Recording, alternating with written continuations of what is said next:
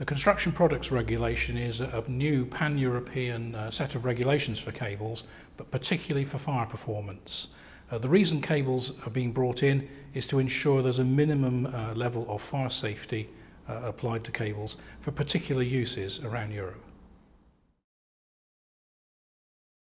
Uh, the Construction Products Regulation for cables will require CE marking and a declaration of performance to be issued by the manufacturer But the major difference this time from the low voltage directive is that third party laboratories must be involved in the testing and in some cases at the higher grades a, a notified product certification body must be engaged as well.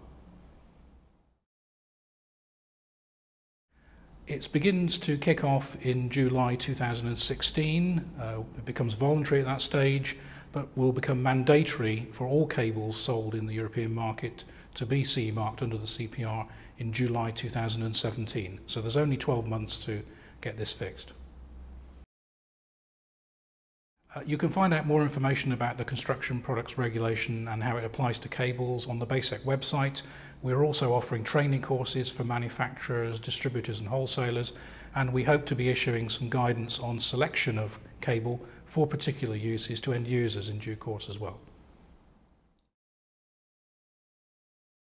Tratos's concern about the construction products regulations are the lack of official guidance on the classes of performance that will be required in each European country and the different uses. For example, in the UK, the choice of class of cable fire performance will be down to individual specifiers and designers.